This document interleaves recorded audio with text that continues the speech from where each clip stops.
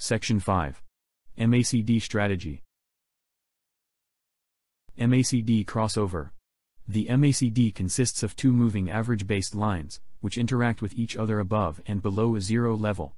When the faster line breaks the slower line in bearish direction while being located above zero, we expect the price to start trending in bearish direction.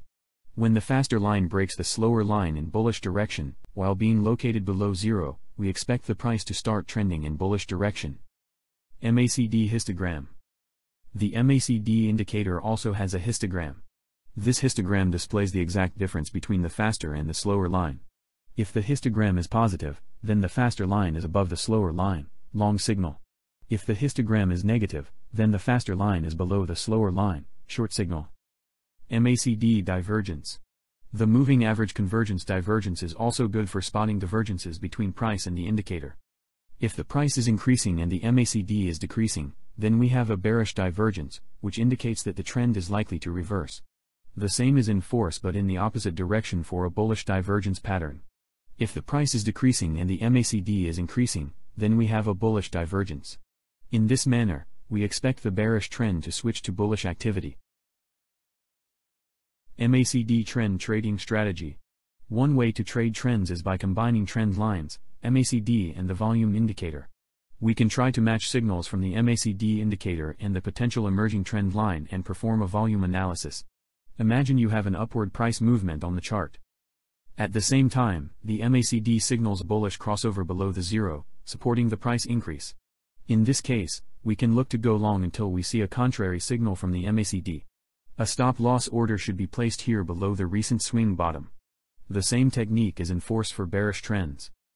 If the price starts accounting for lower tops and lower bottoms, we use a bearish MACD crossover above the zero in order to short a currency pair. The image will show you how exactly this trading strategy works. On this image, you see the H1 chart of the euro to US dollar forex pair. The date is Jan 5, Jan 8, 2016. This example starts with a bullish MACD crossover. Notice that at the time of the crossover and continuing afterwards, the euro to US dollar price is ranging. However, during the horizontal move the euro to US dollar trading volumes are consistently increasing. Suddenly, the price action creates a higher top, breaking the level of its previous top. This clues us into a possible price increase, and after a short correction there is an opportunity for a long position on the chart. The stop-loss order should be located right below the bottom, which should be used for the long position. The price action continues with a new impulse on the chart. The following correction nearly hits the suggested stop-loss placement. However, the price action doesn't manage to decrease significantly below the previous bottom and the stop-loss sustains the danger. The price continues with two more impulse moves in their adjoining corrections. Notice that the MACD indicator is now located in its top area, indicating that we might see the end of this bullish trend soon. However, the trade should be held until the MACD lines signal a bearish crossover as stated in the trading strategy. The last correction on the chart is sharper than usual, which causes the two MACD lines to interact with each other. This acts as an exit signal for this trade and one should close the position for a profit. As an alternative to using the MACD crossover as the exit, you could have also considered waiting for the trend line break instead to close out the long position. Conclusion Understanding price action trends in Forex helps keep trades on the right side of the market. Trends could be bearish or bullish. Bearish trends, they have lower tops and lower bottoms on the chart. Bullish trends, they have higher tops and higher bottoms on the chart. If a trend is not present on the chart, then we have a price range, a sideways price movement. Some ways to visualize a tendency on the chart is by using swing high or low analysis, or the trend line indicator.